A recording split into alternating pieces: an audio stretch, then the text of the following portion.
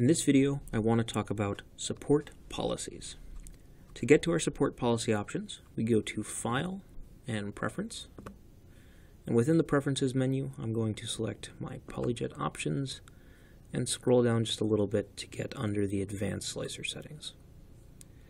Here you'll find our two different support policies, one for matte surface finishes and one for glossy surface finish. It's important to keep in mind that these policies are applied to the entire tray and not on a model by model basis. If we look at our support policies for matte surface finish, we have two options.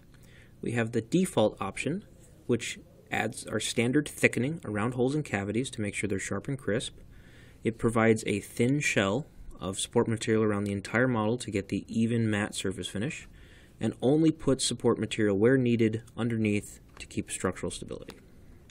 Now if we look at our glossy surface finish options, our default glossy surface finish will again add thickening around holes and cavities to make sure that they're sharp and clear. This also adds downward support from those holes and cavities, which can sometimes lead to an undesired matte tower effect on the side of models. Our second option is Smart Support Policy.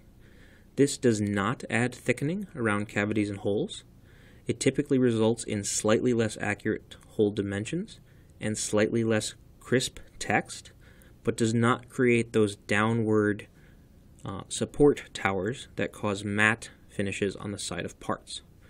So again, this may be a more desirable surface finish on the side of parts, but you may be sacrificing some crispness or accuracy of your features.